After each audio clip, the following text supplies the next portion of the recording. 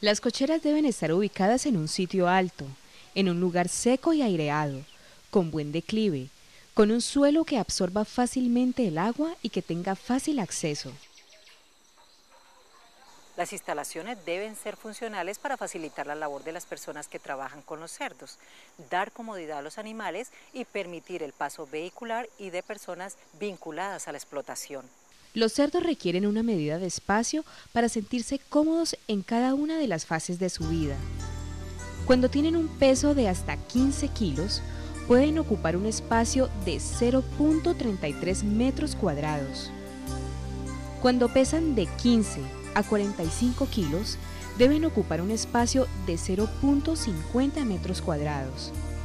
Al llegar a pesar entre 45 y 70 kilos, deben estar en un espacio de 0.75 metros cuadrados.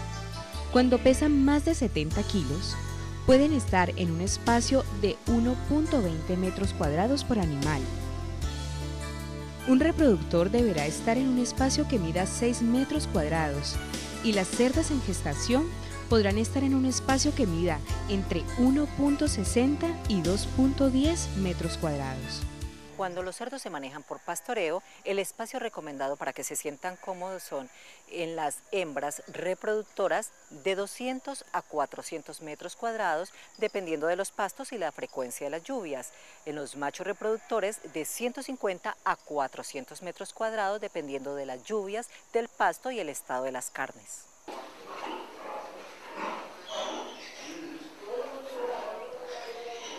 La construcción de los alojamientos para la cría y explotación de los cerdos debe hacerse con materiales durables, económicos y que permitan la limpieza y la desinfección. El material que se recomienda para la construcción de pisos es el concreto rústico.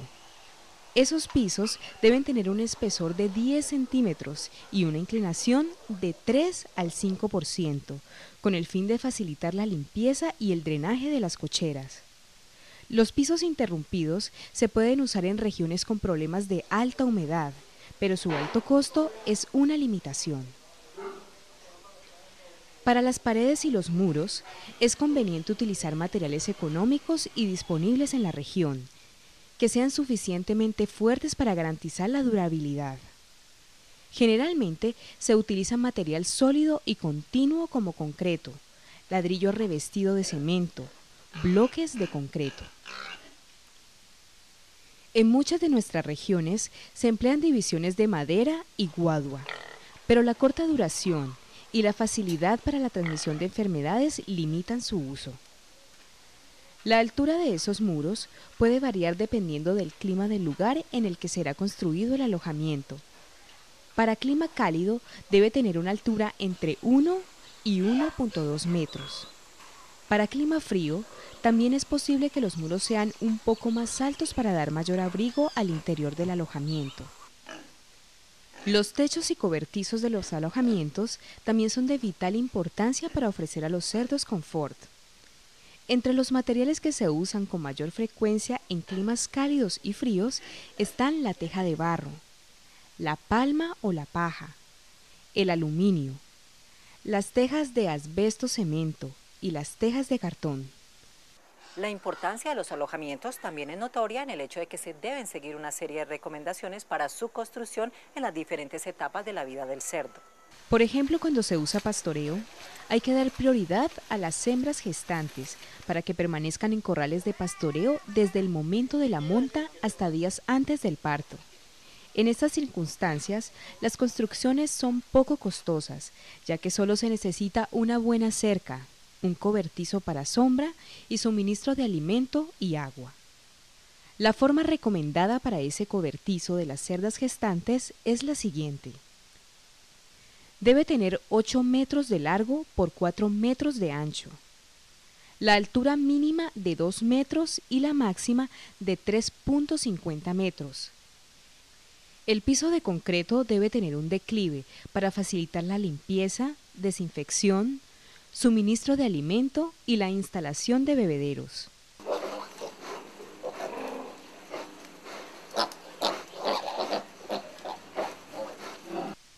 Si la cerda va a estar en un espacio individual, se deberá proporcionar una jaula que tenga un espacio de 2.20 metros de largo y un metro de alto y 60 centímetros de ancho.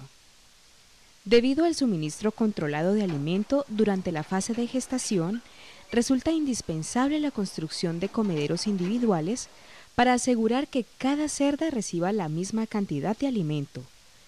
Si se utiliza comederos abiertos o en canoa, se debe calcular un espacio de 45 a 50 centímetros para cada cerda.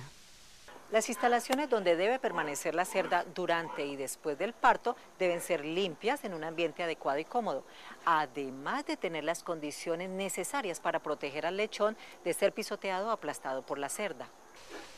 Es importante que el sitio donde permanecen los lechones esté protegido contra cambios bruscos de temperatura y esté permanentemente seco. El piso debe ser de concreto con buen desnivel para evitar la humedad. Un sistema sencillo y económico para alojar la hembra y los lechones durante la lactancia consiste en corrales con rieles protectores. Se puede utilizar un corral pequeño de madera, alrededor de 3 metros de largo por 2 metros con 50 centímetros de ancho, colocando los rieles en los lados del corral aproximadamente a 20 o 30 centímetros encima del piso incluyendo un espacio más amplio en una de las esquinas para colocar la fuente de calor y el comedero de los lechones. Se puede utilizar madera, guadua o tubos metálicos para fabricar los rieles de protección. Este tipo de instalación es fácil de construir y la inversión es baja, pero ocupa más espacio. Un inconveniente es que puede haber más aplastamiento de los lechones. Los catres de parición ofrecen dos ventajas principales. Primero, menor pérdida de lechones por accidentes como el aplastamiento. Y segundo, economía por el espacio requerido para construcción. Las jaulas pueden hacerse en metal, madera, en guadua, en cemento y ladrillo, o combinando algunos de estos materiales. Las dimensiones de la jaula de cría o paritorio deben ser las siguientes. 2 metros con 10 centímetros de largo, 55 a 65 centímetros de ancho, 90 centímetros a 1 metro con 20 centímetros de alto y dos espacios laterales para los lechones de 45 centímetros cada uno.